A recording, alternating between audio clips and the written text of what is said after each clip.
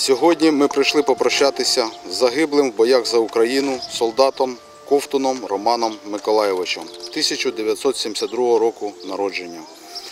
Родом з Донеччини, з міста Солидар. Деякий час проживав в Кременчуці разом зі своїми рідними. Призваний на військову службу під час мобілізації 4 грудня 2023 року. Займав посаду стрілець першого стрілецького відділення. Загинув 10 травня, виконуючи бойове завдання по захисту України в районі населеного пункту Роботине Пологівського району Запорізької області. Сумуємо разом з вами, низько схиляємо голови у скорботі. Герої не вмирають, вони залишаються у наших серцях.